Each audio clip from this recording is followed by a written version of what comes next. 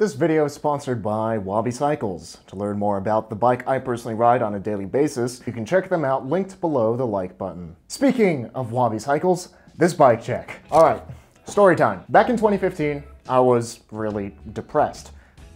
Don't worry though, I'm fine now. So like any reasonable person to try to combat it, I decided to build myself a really nice distance fixed gear with money that I didn't have no less. I just wanted something that I could happily ride all day in an attempt to just forget about my worries. I narrowed it down to two frame sets, the All City Nature Boy and the Wabi Classic. On paper, the Wabi Classic was the frame set for me. It had a responsive geometry I liked, it was made out of nicer tubing, it was a lot lighter, all at the same price as the Nature Boy.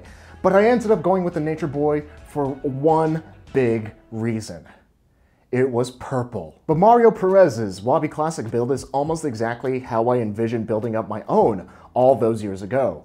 Even better, Mario and I live in the same town, so I had the pleasure of shooting the bike that could have been for myself. It's no secret, Wabi is a good sponsor to the channel, and I really like their bikes. If you've ever seen one of my sponsored segments for them, you already know what's up with the Wabi Classic. They're constructed out of double-butted, air-hardened Reynolds 725 to get the steel tubes springy and light, fabricated with a classically inspired geometry, and left with room for what Wabi claims can fit up to 32C tires, but from our estimation can likely fit something closer to 35s in the front and rear. Link in the description, yada yada. And with this build, comfort and reliability are the name of the game. Up at the cockpit to keep things traditional yet modern are a set of Ritchey Classic drops paired with Tektro R312s for that ergonomic hood position and wrapped in Cinelli cork tape in its au naturel finish. The bars are attached to a Veloci tall stack stem with a negative 17 degree angle to ensure the stem runs parallel with the top tube and to clean up the steer tube with a design reminiscent of classy threaded setups. Moving back to the saddle is a Brooks C17 Cambium for that ultimate Brooks comfort and none of their ultimate maintenance requirements, perched atop a Nitto S65 Crystal Fellow, aka the best name for a seatpost, aka the best single bolt post money can buy. Down at the pedals is a set of the fan favorite MKS Sylvans in a mean all-black finish that gently wears down to silver after thousands of mounts and dismounts.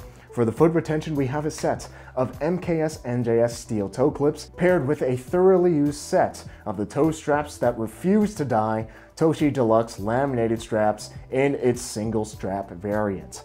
Cranking the bike is a set of the old reliable Sugino 75s attached to the just as old but less reliable Sugino NJS bottom bracket in all its antiquated loose ball bearing silliness. The cranks are equipped with a 47-tooth salsa track chainring to keep things spicy, and in the rear we have a stainless steel 17-tooth all-city cog fastened with a Dura-Ace lock ring. And a KMC Z410, the chain that just works damn well, especially for the price, links the drivetrain together. For the accessories, we have a set of NiteRider lights to alert suburban drivers that are frankly terrible, classy steel cable guides for the rear brake, a PDW bird cage on the seat tube, and a black steel cage on the down tube because a PDW bird cage on the down tube is a death wish, speaking from experience. And a Thule Shield saddlebag because why carry things when your bike can carry them for you? If that wasn't enough to make your head spin, the wheels are Fuji Oval Concept Track Pros, deliciously paired with plush and gummy Panaracer Gravel Kings in 32C to ensure this bike can be ridden anywhere from dirt to gravel to the Sactown tarmac that's paved with beds of broken glass, stray nails, and dead cats. All I can say is that this build really speaks to me. It's almost exactly how I almost built up a Wabi Classic back in 2015. Color scheme and all. Clean, classy, reliable, and rugged. This build almost makes me regret building up my Nature Boy instead of a classic just like this one. But now we have signature Zach, a lot of reasonably dangerous purple Wabis coming in the pipeline. So everything came full circle anyway. If you want to have your bike featured in this weekly bike check series, you can find out the instructions on how to do just that typed up in the description below the like button. And Fixie Fan shoutouts to Stand Strong, 108, Ryan Witz, Julian Corona, Crooks, and Gio DeZero for helping to make these Fixie videos possible through their support on Patreon.